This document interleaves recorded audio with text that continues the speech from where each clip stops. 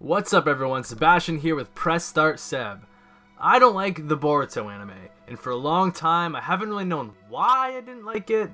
Uh, maybe it has something to do with Boruto being fucking annoying and uninteresting, or perhaps it's that the original cast is like a former, a shadow of their former self, and is often portrayed as a gag, as opposed to, I, I, I don't know, the strongest shinobi in existence. Uh, pff, this disconnect is both narratively based and aesthetically based and causes a great deal of frustration when a character you really really dig is just getting shit on consistently episode after episode after episode. And the more I tried to kind of unpackage uh, what the issue was in actuality, the more I saw that it comes down to kind of a combination of, of a bunch of different issues that comes down to being an issue of stakes.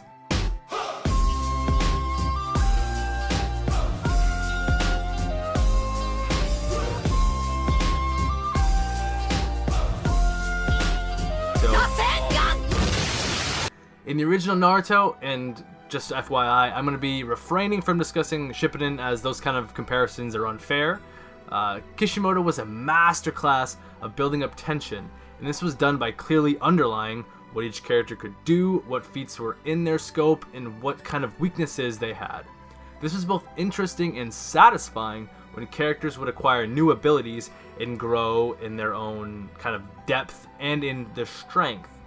We understood that Sakura has great chakra control, uh, was good at negating genjutsu, and has a bit of an inferiority complex with Ino. We saw Sasuke was this prodigy of sorts, and his abilities ultimately fell behind that of the speed and dedication of Rock Lee. And Naruto was immediately from the first episode shown to be terrible at shadow clones and kind of an overall fuck up. That is why the show was able to deliver these hugely moving and exciting scenes, like when Sakura cuts her hair off, or Sasuke utilizes the Lion Barrage in the Chunin exams, or even when he uses the Chidori to smash into Gaara's ultimate defense. These scenes are enthralling, and when Naruto summons those thousand clones to absolutely fuck this dude's day up, it had emotional and physical weight, as we see him performing something that's monumental for his character and is derived from his own uh, want to protect Iruka. Boruto doesn't have this, or even anything remotely close to resembling this. The Boruto anime starts and we have no fucking idea where he stands as a shinobi. We know he's good and a natural talent, but it's never really established what his abilities are or what his jutsu collection entails. It's hard to establish stakes when you don't know what a character has in regard to strengths and weaknesses, can Boruto overcome this challenge or this enemy? Well, who the fuck knows? At this point, we know he has Wind Release, Lightning Release, Water Release, and Gentle Fist. We don't know how he acquired them, uh, how well he can use them, or even how long he's been using them for. His abilities are not only groundbreaking in respect to the Genin counterparts of the original Naruto, when you try to compare what Boruto can do versus what the other Genin could do, especially when you kind of think of how surprised Kakashi was that Sasuke could toss out a fireball jutsu.